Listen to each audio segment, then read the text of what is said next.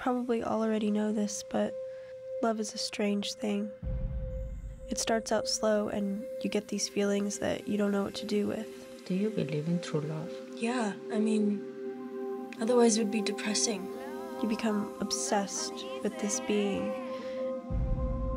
It feels amazing, like so freeing, like the best feeling ever. I mean, Love is beautiful, but it's not simple.